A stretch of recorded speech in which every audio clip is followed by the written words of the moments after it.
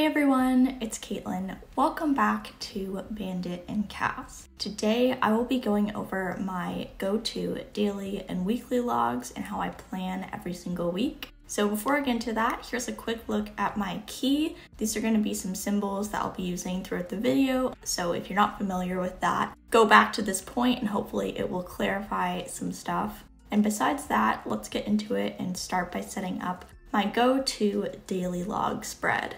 If I had to think about what spread would compose the majority of my bullet journal, it would definitely be this one. Daily logs make up most of my notebook by a long shot, and because I'm making them so often, I like to keep my layouts really simple so they're easy to maintain and recreate.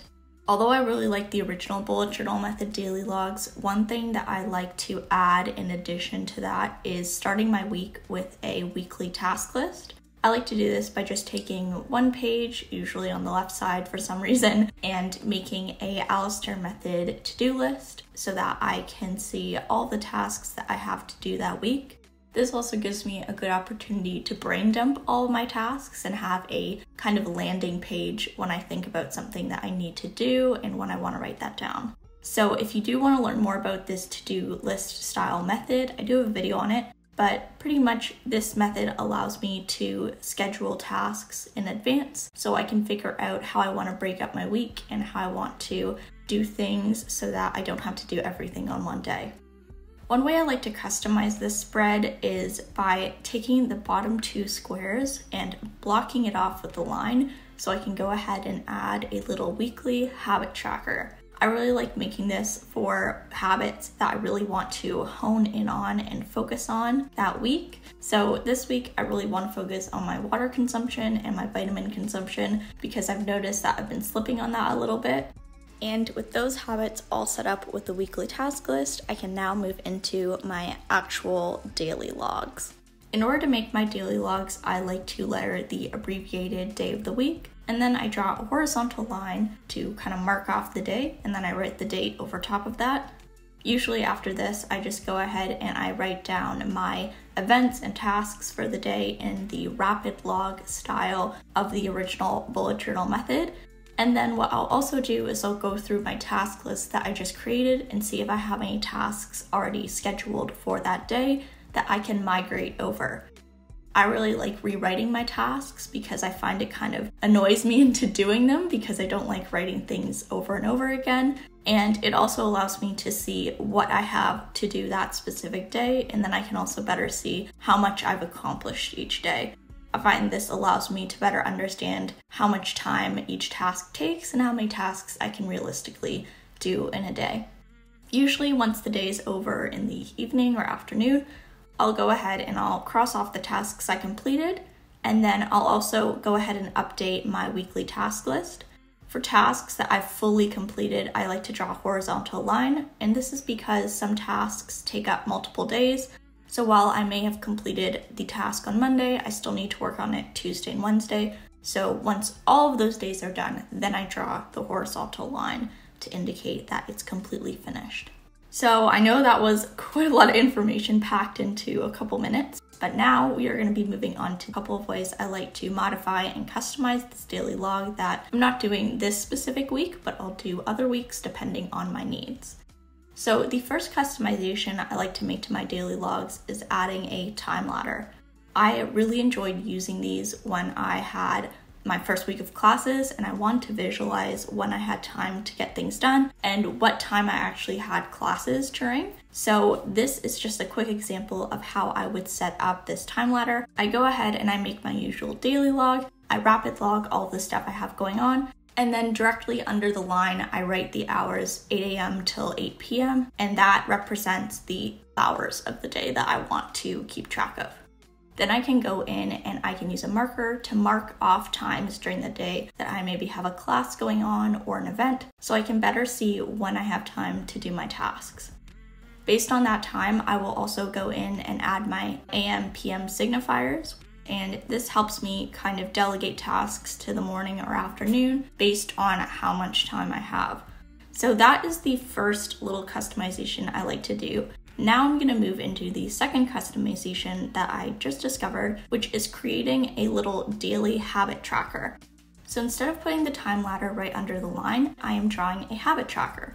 This one is for water consumption, so I plan to fill in the eight little circles with the eight cups of water that I will hopefully be drinking. And I think that will be a good way for me to really hone in and keep track of a habit that I kind of need to really improve on. So, that is one example of another way that I like to customize this tracker. Another thing I want to quickly mention is that while I like to do the lettered headers, Sometimes I completely ignore that and I just go ahead and rapid log for the day. This is actually another reason why I really like the daily log layout I have right now, and that's because I can go in and add the titles later if I want to, but if I just want to sit down and brain dump my log for the day, I can go ahead and do that without having to break out my brush pens if I don't want to. So, although I use the daily log probably 80% of the time when I'm doing my weekly spreads, I did want to show you guys a second spread that I like to make sometimes, which is my weekly log. So this is a take on the rolling weekly, but it's a little bit different and I'll explain those differences in a little bit. But the first thing I like to do is just like my daily log, I like to go ahead and take one page for my weekly to-do list. This is another example of how I write out my weekly to-do list. Although sometimes I like the Alastair method checklist, sometimes I'll just do a standard two column checklist and I'll break down personal tasks on the left and then school tasks on the right. And this can be a really great way for me to visualize what I have to do for different areas of my life. Once I have my checklist done, I go ahead and I set up my weekly.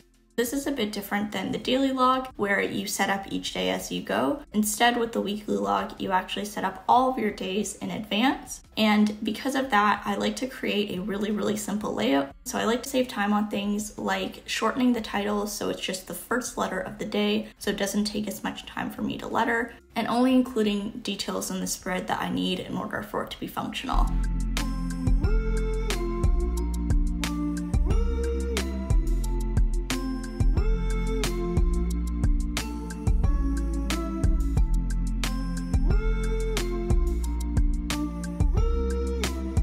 Once I've created the date of the week and the day of the week at the top, I go in and add a time ladder. This one is actually vertical compared to the horizontal one you saw in the daily log.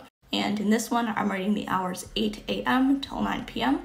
And then all the weekends, I like to just write morning, afternoon, and evening because I try not to have a lot of stuff going on. So that works really well for my schedule. Then, whenever I really want to, because these are all set up in advance, I can go ahead and write my events in the time ladder, and then I use the bottom half of the spread for tasks and due dates. Another way I like to customize the spread is similar to the daily log, and that's by making this beautiful horizontal line two boxes up. Sometimes I'll use the left hand side for habit tracking, like I showed you in my daily logs, and then I'll use the space underneath each day of the week to track either a specific habit like water consumption, which I'm showing you here. Or another thing I like to do is take the space underneath each day to record what kind of workout I did so I can keep track of my fitness. So that is a quick look at my weekly spread. I did forget to draw the line on that second side of the page, but normally I would do the line across all the pages. So sorry, just a little aside there.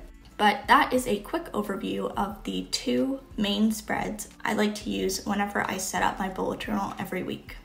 I hope that by seeing these two spreads, it gave you guys some ideas on how you can make your own daily and weekly spreads that work for your needs and are simple and customized to your lifestyle. And if you're still here, thank you so much for watching, and I will see you guys in the next one.